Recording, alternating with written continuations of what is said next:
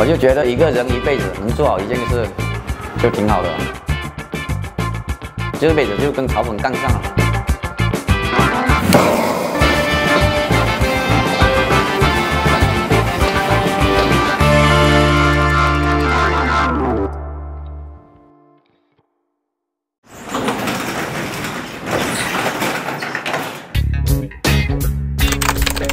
我叫林洪波，来自于广东潮汕普宁，来到深圳宝安做炒粉，今年做忙就做十二年了。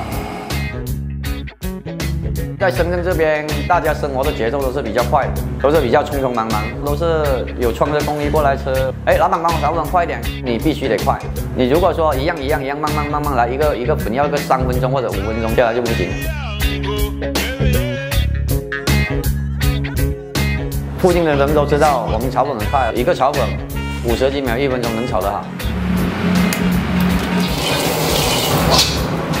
回手它就方便起锅，就是出锅快，还要调料的时候也要准，也要快。你这样省一两秒，那样省一两秒，打包起来也快，就是不想让客人等太久嘛，我们也不好意思。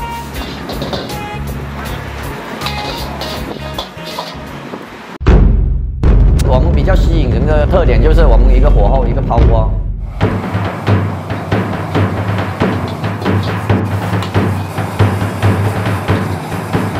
抛锅一定要抛得好看，从下上到上面翻，一直翻左右配合翻上来。我们那就步步高升。炒粉的话要粉要散，要夹起来一条一条。还有那个调料放下去就看一下会不会均匀，就是要看这一招。这一招是不是要学会就比较难。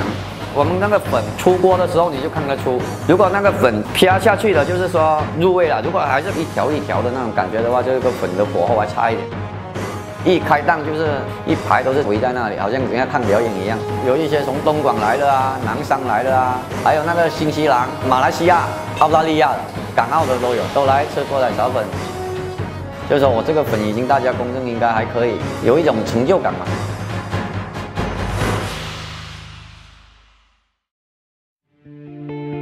我是货车司机，我没进过一天厨房。在十二年前做炒粉嘛，其实还是个体力活，因为熬夜比较辛苦，很多年轻人不愿意干。那一年就炒了一整年没停过，正月十六炒到大年三十那晚上，一整年剩了三千块钱，我老婆回老家都不够。大家就是说，哎，这个炒菜以后不好吃，就一边走过我档口，走着就指着这这样子说。然后你这炒的太咸了，不好吃。没办法，没没学过，慢慢做。对面一些就是也有人家在炒粉嘛，慢慢就是偷师学艺，看人家怎么炒的，然后去研究它味道啊、粉的那些品质什么的啊，这些啊，吃起来什么口感啊。我刚开始炒的时候，一个晚上都在那里泡，然后睡觉的时候那个手老是这样、这样、这样，就这样。我们抓锅跟抓那个炒勺都是抓得紧紧的，然后刚开始是水泡。基本上就是每个手指都是一条一条的。我现在每隔三五天我都要把这个皮这一层皮削，要不削的话它是慢慢厚慢慢厚抓起来这个茧它就有点不舒服。熟能生巧嘛，因为我就只会炒粉，我如果连炒粉都不认真的话，我做别的我也不会啊，我只能认真去做我自己的炒粉。每天都是眼睛一睁起来，一把一旦一出出来开始炒就一直炒一直炒了，忙完下来的话都是三点多，然后有时候我们拍作品要拍到七点多。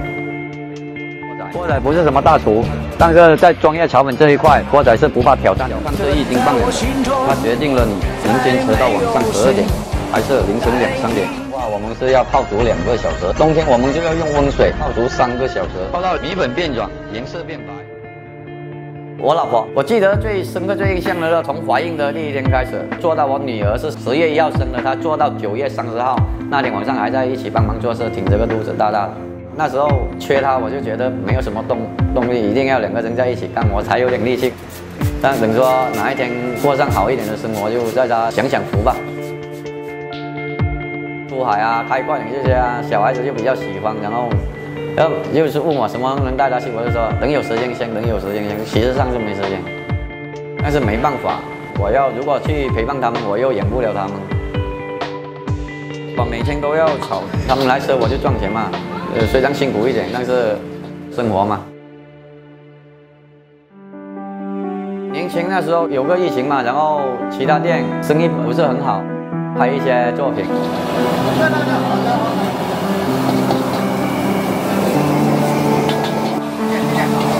谢谢大家，刚刚可是抱着玩一下的那种心态去玩一下的，然后就没想到就火起来了嘛，很多人就网红网红，越多人知道就越好嘛。中国还有这种快炒的文化嘛，人家看得到也。听得到你那个火的声音嘛？这个这个叫人间烟火。我从二十三岁，今年是三十五，炒了一轮了，经常站在那路边的时候都是这些火。现在就想去东北看看雪，非常喜欢过上一些冬天的生活，就比较冷。你越冷，我就越不怕。